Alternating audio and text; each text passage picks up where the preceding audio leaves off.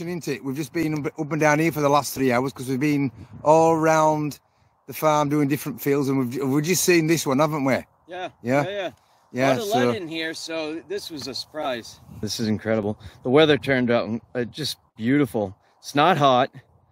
Uh, the sun's out. We had some clouds uh, earlier, but um, it was it was just beautiful. All right, here we go. So, at least I've ended up today with Roman! Roman coin. I think it's a bronze. Not quite sure who the Emperor is. But we've got Roman with the Manticore. Ta-da! Well, at least, you know, we've got It's something a good start. It's a good start. It's a good start. So, I don't know if you can see the actual Emperor.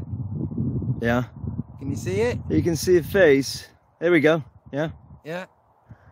So, you got to clean it up still. Gotta still clean it all up. Oh, it's only bronze, but that's potential.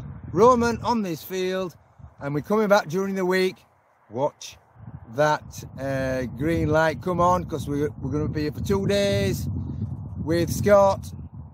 Detected all over the place, pasture and then back up here, hoping to get some more Roman, some Denarius, and hopefully some hammered. Ain't that right, mate? Oh yeah. Yeah. And we've got we've got another field over there that's similar to this one, which we found quite a bit over there. So I'm really looking forward to finishing this up.